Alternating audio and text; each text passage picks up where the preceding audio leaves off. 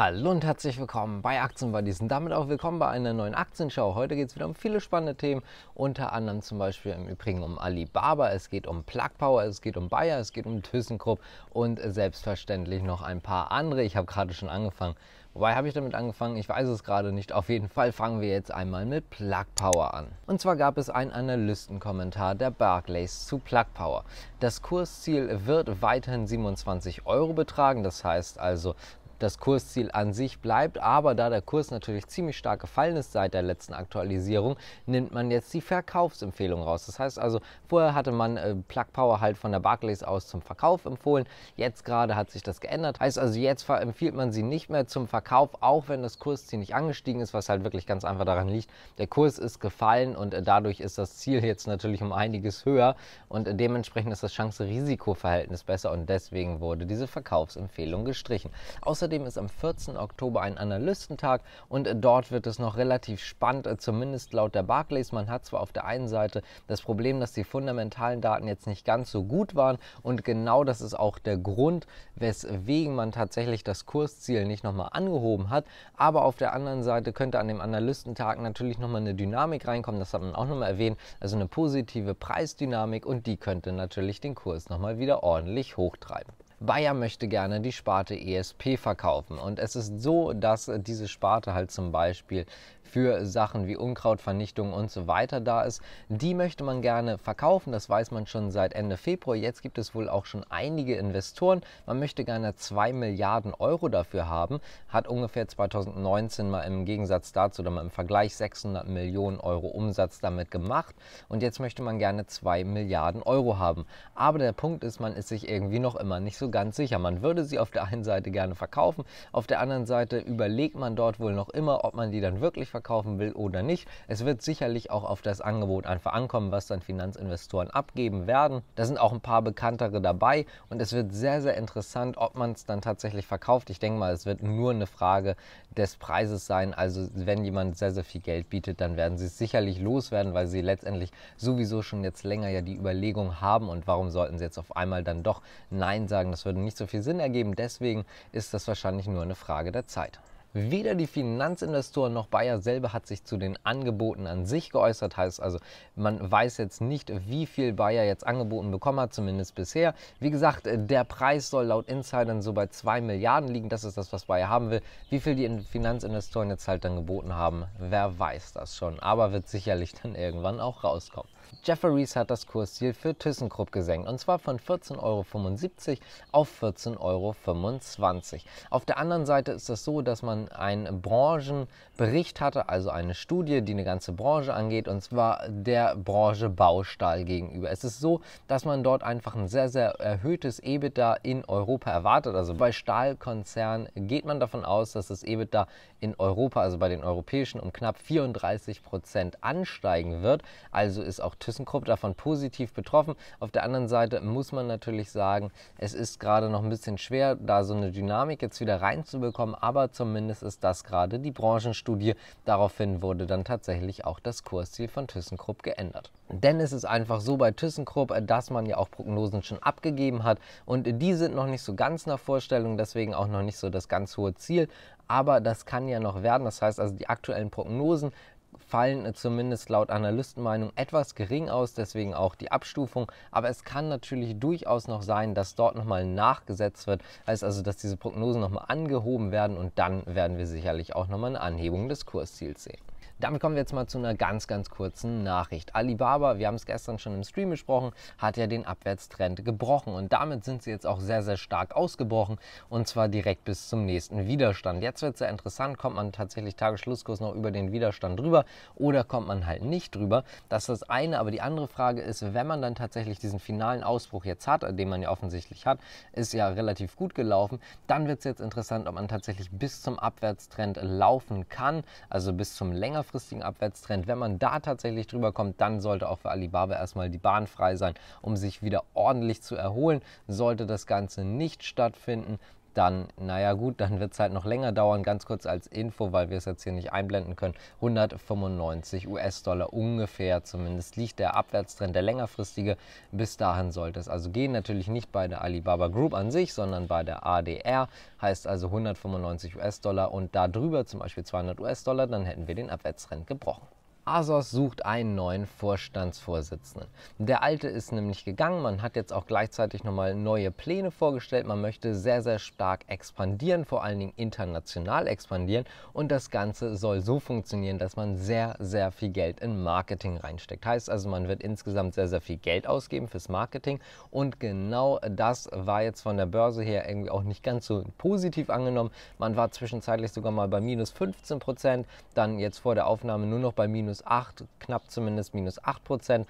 Also wurde das Ganze nicht wirklich positiv aufgenommen. Da muss man aber auch noch dazu sagen, dass zum Beispiel der Kapitalmarkttag, den man ja führen wollte, am 14. Oktober auch noch auf den 10.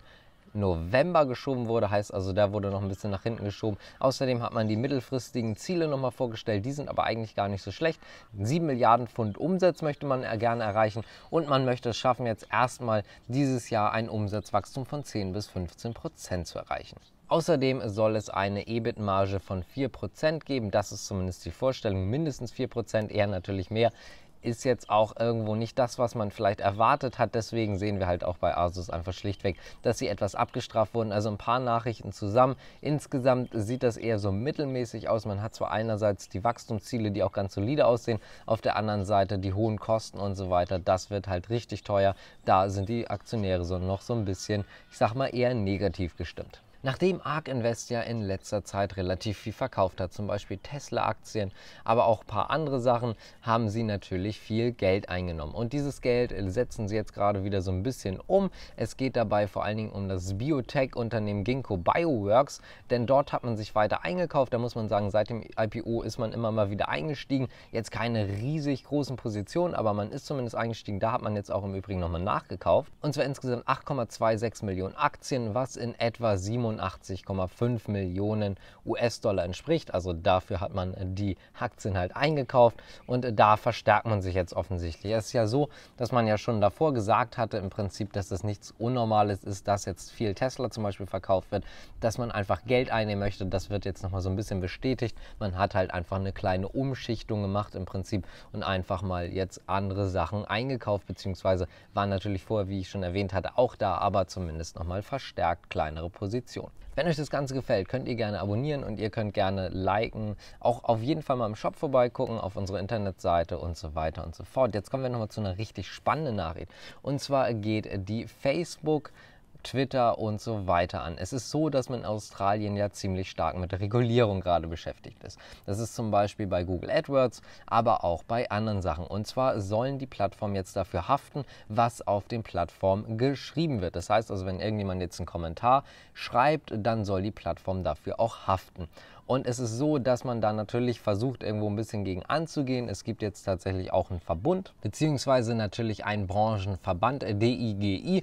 Und äh, die haben jetzt gesagt, dass man erstmal ein Gremium zusammenrufen möchte, um jetzt zu gucken, wie man das Ganze dann am besten regeln kann. Da muss man aber sagen, Experten, die sich damit auch wirklich auskennen, die dort jetzt auch zum Beispiel ermitteln möchten, wie groß der Einfluss von großen Konzernen auf die Regierung ist, die haben gesagt, das ist eine absolute, ich zitiere mal, Lachnummer. Ganz einfach deswegen, deswegen, weil man dort überhaupt keine Strafen hat. Das heißt also, man versucht jetzt einen Verhaltenskodex aufzustellen, aber wenn man sich dort nicht dran hält, dann ist das halt einfach so. Also das heißt, dort gibt es keine Strafen oder sonst was. Und genau das wird jetzt so ein bisschen negativ nochmal dargestellt, beziehungsweise dazu wird sich einfach nochmal negativ geäußert. Man sieht das Ganze eigentlich als absoluten PR-Gag an, im Prinzip deswegen, weil zum Beispiel auch Facebook und so weiter sehr, sehr schlecht in den News waren. Auch in letzter Zeit gab es dort super viele negative News, habt ihr vielleicht mitbekommen. Facebook mit der Whistleblowerin und so weiter und so fort. Also es gab eigentlich nur Negativschlagzeilen und um dem Ganzen jetzt so ein bisschen entgegenzuwirken, um nicht viel tun zu müssen und dem trotzdem entgegenzuwirken, dafür sieht man das Ganze. Heißt also im Prinzip, zumindest laut den Experten, eher so ein PR-Gag. Laut Facebook und so weiter nimmt man das Ganze natürlich sehr, sehr ernst. Die Commerzbank geht im Übrigen bei der Inflation davon aus, dass sie sich auch nochmal weiter erhöhen wird. Und zwar soll man zumindest laut der Commerzbank in den nächsten Monaten nochmal eine Erhöhung erwarten und zur Jahreswende soll das Ganze dann wieder abschwellen. Das heißt also, man erwartet auch tatsächlich im November nochmal eine Inflation von über 5%, unter anderem auch getrieben durch die Energiepreise, die ziemlich stark gestiegen sind. Da kommen wir auch gleich nochmal zu.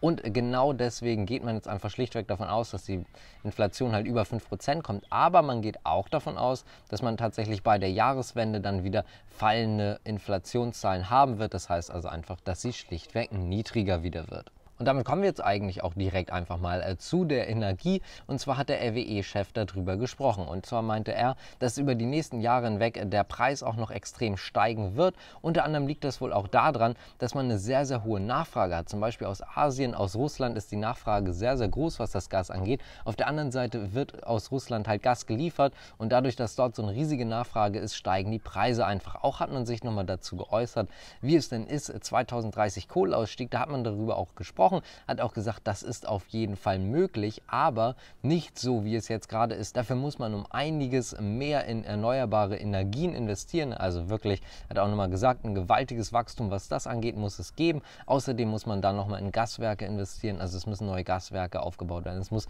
viel für eine erneuerbare Energie getan werden. Ansonsten ist das bis 2030 einfach schlichtweg nicht möglich, beziehungsweise es ist möglich, aber man geht dann davon aus, dass die Netzstabilität in Deutschland gefährdet ist. Und damit kommen wir zum nächsten Big Tech-Thema, denn äh, der Krieg zwischen Epic und Apple geht weiter. Es gab ja das Gerichtsurteil von der Richterin und das war Anfang September. Da hieß es ja im Prinzip, hat Apple großteilig recht, aber Apple darf den Entwicklern nicht verbieten, dass die sagen, auf anderen Seiten oder woanders gibt es das Ganze günstiger. Das heißt also, Apple möchte ja nicht, dass darauf verwiesen wird. Und das ist laut der Richterin nicht legal. Das heißt, wir haben auf der einen Seite Epic, die schon eine Berufung eingelegt haben, weil sie mit dem Gesamturteil nicht zufrieden sind. Und jetzt hat Apple auch nochmal eine Berufung eingelegt, weil sie mit diesem einen Punkt nicht zufrieden sind. Und zwar soll dieser neue Punkt, dass dann Entwickler halt auch schreiben können, das gibt es woanders günstiger, ab dem 9. Dezember greifen. Und und im Prinzip ist es zumindest laut Expertenmeinung so, dass man einfach versucht, den Ganzen jetzt aus dem Weg zu gehen, beziehungsweise das Ganze fürs Erste nach hinten zu verzögern,